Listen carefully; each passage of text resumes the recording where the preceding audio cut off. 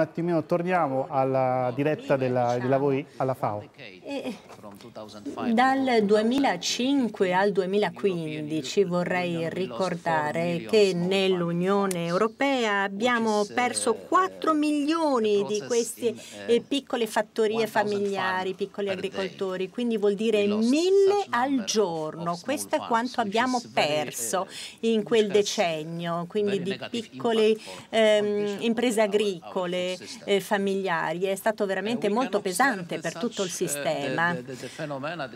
Allora ci sono tutti questi fenomeni, ehm, eh, devono essere affrontati a livello ehm, globale. Abbiamo sentito delle parole molto importanti da parte di Papa Francesco. Vorrei ricordare alcune parole anche di Giovanni Paolo II, eh, che ha ricordato eh, le difficoltà eh, e i problemi no, nel settore alimentare, anche come c'erano tendenze diverse a livello politico, eccetera. Ma è interessante ricordare le sue parole.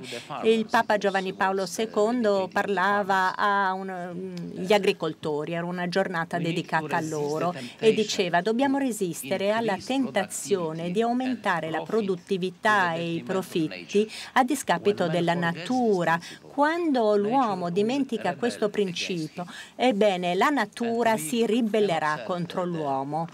E, e, possiamo osservare proprio i sintomi di questa ribellione, come ho detto, eh, le inondazioni, la siccità, gli incendi, eccetera. Allora, qual è la risposta dell'Unione Europea? Certo, il Green Deal, come ha detto lei, Monica, e quindi la biodiversità, anche dobbiamo trovare delle strategie e vorrei ricordare eh, le parole eh, del del presidente von der Leyen. Eh, sorry, because to use better the, the, the microphone. Ecco, è meglio usare il eh, microfono.